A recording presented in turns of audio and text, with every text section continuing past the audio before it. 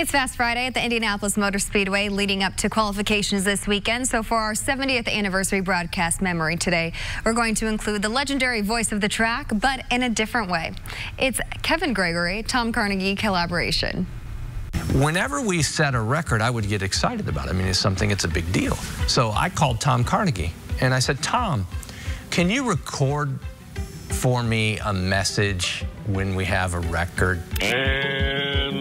A new temperature record.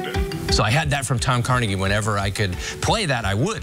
But then there were times that you get an almost record. So I called Tom Carnegie back and I said, listen, there are times when I can't play your it's a new temperature record because we just missed it.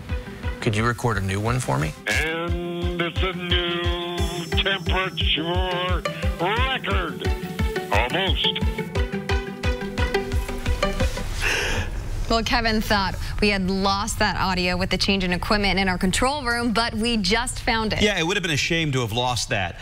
Tom passed away in 2011. In addition to being the voice of the track, he was sports director here at Channel 6 from 1953 to 1985. I wish we had that playing all the time. Glad we found it, right?